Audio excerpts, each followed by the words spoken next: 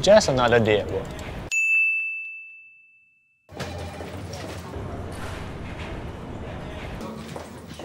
Doesn't mean I work in the container terminal means I know how to operate the crane.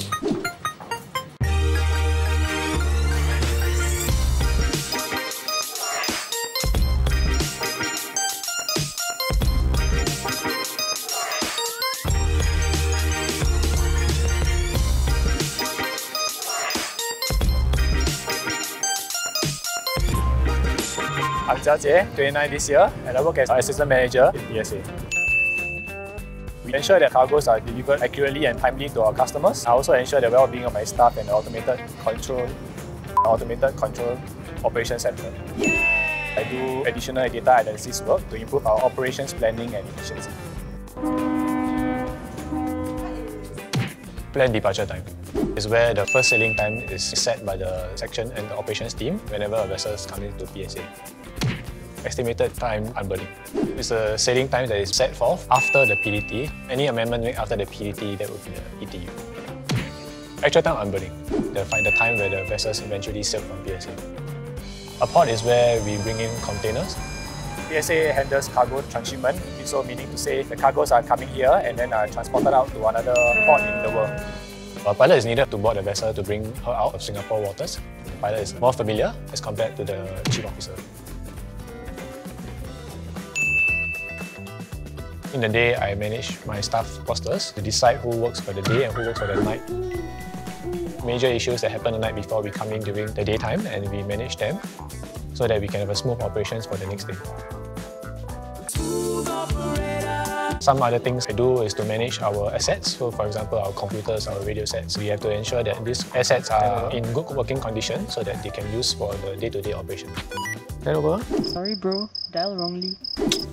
I do have to liaise with different departments. For example, the IT departments, whenever there's an asset breakdown, we look for them for immediate service recovery so that our operations team can use them for the next day.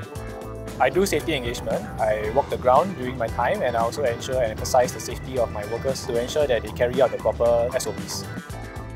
On top of that, I also create a dashboard to actually track our PDT, ETU and ATU time of our vessel sailing. With this data, we can actually put a figure to the difference between the actual sailing time of a vessel and the estimated time of the vessel unberthing. We can bring down the time difference so that we can actually improve our service to our customers.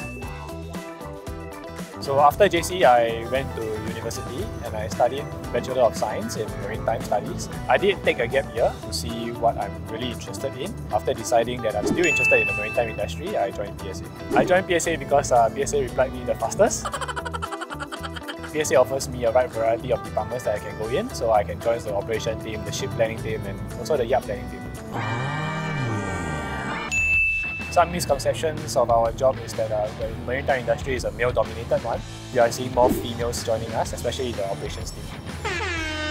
Some challenges that I face is to adjust myself to the working shift. We work 12 hours a shift, 2 days on and 2 days off. we have to endure the night while not sleeping, but also continue working on to ensure that the operations carry on smoothly. Some specific skill in my role will be data analysis, for example, Excel VBA and SQL. We can actually bring forth and manage data properly and also deal with better visualization. We need to decide on the ground how do we want to allocate our resources so that we can run smoothly.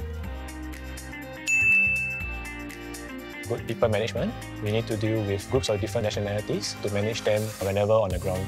Communication skills because we communicate with wide groups of people, so we need to ensure that we are able to bring our message across to them, especially in times of need. There was a case where a faulty container was found on board vessel. The vessel was actually sailing in 15 minutes. As a duty manager, I communicated with the chief officer and the pilot, and we managed to bring the container down in time and also to sail the vessel within service time. Some advice that I would give people who are keen to learn and join the maritime industry would be to be open-minded with this digital transformation, there are endless opportunities for people to join the marine industry and also to expand your career specialization.